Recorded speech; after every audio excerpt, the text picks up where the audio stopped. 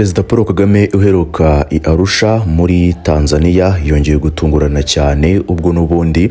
Yasabiraga ibihano bikomeye cyane repubulika iharanira demokarasi ya kongo ndetse n'igihugu cy'u burundi. Ni mu gihe n'ubundi iki gihugu cy'u burundi ndetse na kongo kinshasa bimaze igihe byikoma mu gatuza bishinja u rwanda ibirego bitandukanye ngo by'uko u rwanda rwaba rufasha inyeshyamba n'ubundi zirwanya ubutegetsi bw'u burundi ndetse rukaba runafasha inyeshyamba z'umutwe wa M23 mu kurwanya guverinoma ya Repubulika Iharanira Demokarasi ya Kongo Kinshasa. Uyu munsi rero nyemerera duhere mu ziri muzingo iby'aya makuru mu bwire gatanu kuri kagenzi kako ingingo ku yindi uburyo ki perezida Paul Kagame yasabiye ibihano ibihugu bya EAC birimo birimo Kongo ndetse n'igihugu cy'u Burundi ni mu nama n'ubundi ikomeye cyane ya EAC perezida Kisekedi Tshilombo aherutse n'ubundi gukwepa. Ni inama yabaye tariki ya mirongo itatu z'ukwezi kwa cumi na kumwe dusoje muri uyu mwaka wa bibiri na makumyabiri na kane. So rero mwahe ikaze no kuri Rwanda online mwibutsa yuko kubana natwe umunsi kuri muziri inkuru zitandukanye byoroshye kuko no kureba handitse subscribe ubundi ugacana kuburi no kubura. Inkuru zose tuba dukomeje kujya tukugezaho uko bwije no ku bukeye biroroshye rwose nta giciro na kimwe bisaba usibye. Gusa kureba ahanditse sabone cyangwa se subscribe ikaze cyane kanze mu kanya ubundi nkubwire iby'iyi nkuru. Ese nawe ujya utekereza aho wakura muganga gakondo utanga ubuvuzi bw'umwimerere bushingiye ku bimera? Nta mpamvu yo guhangayika. Igisubizo cyabonetse. Habonetse muganga gakondo utanga ubuvuzi bw'umwimerere ku ngo zabaswe n'amakimbirane. Zikongera kubana neza nkaho nta cyabaye. Ku bagore n'abakobwa bajya mu mihango iva ntikame namwe mwashyizwe igorora. Akarusho kandi ku babaswe n'ibiyobyabwenge bifuza kubireka. Muganga gakondo abafasha gutandukana n'ibyo binyagwa. Ubuzima bwanyu bukongera kugenda neza. Si ibyo gusa kuko muganga gakondo avura amarozi y'ubwoko bwose ibitegano ibigaburano ibihuhirano nyabingi ndetse n'ibindi. Ibyo byose akabivura yifashishije ibimera. Ku ndwara nk'umwijima amibe rubagimpande igifu impyiko ndetse n'izindi twabazaniye umuti ubafasha gutandukana n'izi ndwara. Kuba ari imahanga namwe. Nta mpamvu yo kwibaza uko imiti iraza kubageraho kuko dukora na DHL tukabagezaho imiti aho waba uri hose. Ku bindi bisobanuro vugana na muganga gakondo cyangwa se umwandikire kuri nimero ya telefone ikurikira. Zeru karindwi umunani mirongo itatu na kabiri mirongo icyenda na gatatu mirongo icyenda na kabiri kabiri. Erega hamagara ni cyo gishoro ufite gikomeye di. Ita ku magara yawe hato utayatakaza perezida paul kagame yagaragaje impungenge zo kuba hari bimwe mu bihugu bigize umuryango wa afurika y'uburasirazuba eac bidatanga imisanzu. Asaba ko byajya bifatirwa ibihano. Umukuru w'igihugu yabigaragaje ku wa gatandatu tariki ya mirongo itatu ugushyingo ubwo i arusha muri tanzania haberaga inama isanzwe ya makumyabiri na kane y'abakuru b'ibihugu bigize iyasi na mwanya munini cyane perezida paul kagame yamaze yamaze muri tanzania kuko n'ubundi yahavuye yerekeza i doha muri katari aho ku cyumweru we n'umuyobozi w'ikirenga w'iki kigo bitabiriye umuhango wo gusoza isiganwa rya formula one ryahaberaga ku mugaragaro. Inama ya makumyabiri na kane rero y'abakuru b'ibihugu bya EAC yasize perezida William Samoei Ruto wa Kenya ari we utorewe kuyobora uyu muryango. Asimbuye kuri izo nshingano Salva Kiir Mayardit wa Sudani y'Epfo. Ruto mu ijambo rero rye yasabye ibihugu binyamuryango kwihutira n'ubundi gutanga imisanzu bisabwa mu rwego rwo gufasha EAC gushyira mu bikorwa gahunda zitandukanye. Yiyemeje izo gahunda zinarimo ibikorwa remezo. Perezida kagame rero mu mbwirwaruhame ye yasomewe mu nama yashyigikiye iki gitekerezo. Cya ruto cyane anasaba ko rwose ibihugu bidatanga imisanzu byajya bihanwa nk'uko bigenda ku bidatanga imisanzu y'umuryango wa afurika yunze ubumwe eyo. Yagize ati dukeneye ingamba zo kubahiriza zo kubahiriza zikomeye.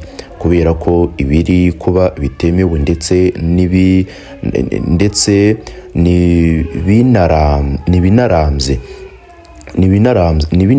n'ibinarambye urugero nk'inzego zashyizweho n'umuryango wa afurika yunze ubumwe zatumye abanyamuryango bakora neza. Ni perezida kagame wasabye eyase kandi gutera ikirenge mu cya eyo eyase buri mwaka ubundi ikoresha ingengo y'imari yasaga miliyoni ijana n'eshatu gutyo z'amadolari y'amerika arimo aturuka mu misanzu itangwa n'ibihugu binyamuryango ndetse n'aturuka mu mfashanyo itandukanye ituruka hirya no hino. Kugeza ubu rero mu bihugu bibereyemo iyase ibirarane binini cyane by'imisanzu harimo repubulika iharanira demokarasi ya kongo itaranatanga n'ipfumuye kuva muri bibiri na makumyabiri na kabiri. Ubwo yinjiraga muri uyu muryango uburundi ndetse na sudani y'epfo. Umwaka rero w'ingengo y'imari wa EAC wa bibiri na makumyabiri na gatatu bibiri na makumyabiri na kane warangiye urwa warangiye kongo n'ubundi ngo ifite ibirarane ngo bya miliyoni cumi n'enye n'ibihumbi magana arindwi by'amadolari y'amerika byitezwe ko rero uwa makumyabiri na kane n'uwa makumyabiri na gatanu uzajya kurangira ageze kuri miliyoni makumyabiri n'ebyiri z'amadolari y'amerika n'ibihumbi magana atanu. Uburundi bwo bwari bufite ibirarane bya miliyoni cumi n'imwe n'ibihumbi magana abiri by'amafaranga y'amerika mu gihe ibya sudani y'epfo byo byari miliyoni umunani n'ibihumbi magana atandatu by'amadolari y'amerika muri make rero perezida paul kagame n'ubundi yasabiye ibihano ibyo bihugu kuba n'ubundi bimaze igihe bidatanga imisanzu nyamara kandi imisanzu ariyo ituma ibikorwa bya EAC birimo birimo ah, birimo amafaranga afasha birimo amafaranga afasha ingabo za EAC ibikorwa byazo ndetse n'ibindi bikorwa bitandukanye birimo kubaka ibikorwa remezo. N'ubundi rero perezida kagame yasabiye ibihano ibyo bihugu birimo congo burundi sudani y'epfo byanze n'ubundi gutanga imisoro mu buryo budasobanutse.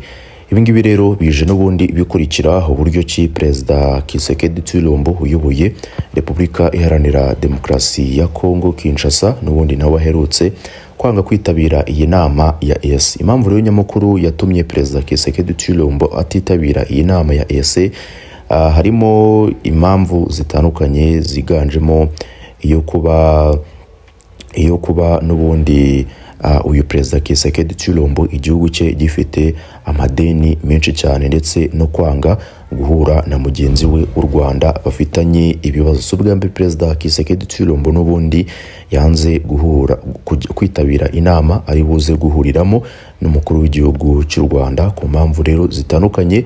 Nizo zituma uyu perezida kisekedi atitabira inama. Ahanini zimuhuza n'umukuru w'igihugu cy'u rwanda. Iyi nama rero ubusanzwe abayitabiriye barimo perezida wa uganda yoweri kaguta museveni perezida wa tanzania samiya suruhu perezida wa sudani y'epfo perezida wa kenya ndetse n'abandi baperezida batandukanye bahagarariye ibihugu bitandukanye mu muryango wa EAC so rero andi makuru magingo yangaya tugeraho ni uko EAC yasabye ko ibiganiro bya Nairobi bihuzwa n'ibya Rwanda. Umuryango wa Afurika y'Iburasirazuba EAC wasabye ko rwose ibiganiro bya Nairobi bigamije gukemura ibibazo bya Repubulika Iharanira Demokarasi ya Kongo ifitanye n'imitwe yitwaje intwari ikorera mu burasirazuba bwayo. Byahuzwa n'ibya Rwanda bigamije gukemura ibibazo bya politiki iki gihugu gifitanye n'u Rwanda. Ni ubusabe uyu muryango watanze ku gatandatu tariki ya mirongo itatu ugushyingo ubwo i Arusha muri Tanzania habiraga inama ya makumyabiri na kane isanzwe y'abakuru b'ibihugu biwugize. Gahunda y'ibiganiro bya Nairobi na Rwanda yatangiye mu myaka ibarirwa muri ibiri ishize. Ubwo inyeshyamba zo mu mutwe wa M23 zuburaga imirwano n'ingabo za leta ya Repubulika Iharanira Demokarasi ya Kongo Kinshasa. Iyi ntambara rero ni na yo yatumye umubano wa Kongo ishinja u Rwanda gufasha M23 uzamba byatumye umuryango wa Afurika yunze ubumwe uha Angola inshingano zo guhuriza ibihugu byombi mu biganiro bigamije gukemura ibibazo biriho hirindwa ko hashobora n'ubundi kuvuka intambara yeruye. Ku wa gatandatu w'icyumweru gishize ubwo i Arusha haberaga inama ya EAC Uhuru Kenyatta wahoze ari perezida wa Kenya akanaba umuhuza mu bibazo bya Kongo ifitanye n'imitwe yitwaje intwari ikorera mu burasirazuba bwayo yagejeje ku bakuru b'ibihugu raporo yerekana ibimaze kugerwaho mu kugarura amahoro n'umutekano mu burasirazuba bwa Kongo ni raporo igaragaza izamba ry'umutekano mu burasirazuba bwa Kongo ibyatumye abakuru b'ibihugu bongera gusaba ko imirwano rwose ihagarara. Umwanzuro wa gatanu w'iriya nama ari nawo usaba ko ibiganiro bya nairobi na rwanda byahuzwa uvuga ko inama y'abakuru b'ibihugu yarebye uko ibintu byifashe nabi mu burasirazuba bwa kongo isaba guhagarika imirwano. Ukomeza ugira uti kubera ingorane ziri mu biganiro by'amahoro byabereye icyarimwe inama yasabye ko rwose hashyirwaho uburyo buhuriza hamwe inzira zose zigamije gushaka umuti by'umwihariko ibiganiro bya rwanda n'ibya nairobi bigahurizwa hamwe bikayoborerwa hamwe uyu mwanzuro kandi usaba ko habaho inama ihuza umuryango wa afurika y'iburasirazuba n'umuryango w'ubukungu bw'ibihugu byo mu majyepfo ya afurika sadek bakigira hamwe n'ubundi bakigira hamwe ibibazo by'umutekano muke muri repubulika iharanira demokarasi ya kongo n'ingaruka bifite ku karere ka afurika y'iburasirazuba. Sadeke imaze umwaka yarohereje n'ubundi muri kongo ingabo zo kuhagarura amahoro zikaba rero zarasimbuyeyo iza eyase zahavanywe shishi itabona bijyanye no kuba kongo yarazinengaga kuba zaranze kujya mu mirwano. Na M23 icyakora perezida Yoweri Kaguta Museveni aheruka gutangaza ko izi ngabo na zo nta gisubizo zizigera zitanga kuko n'ubundi abona igisubizo cy'ibibazo by'umutekano muke.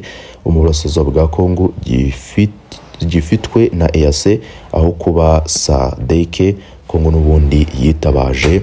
Vuba na bwangu. Ngahe nguko rero komeza ubane natwe no mu zindi nkuru zitandukanye iyi yari rwanda online.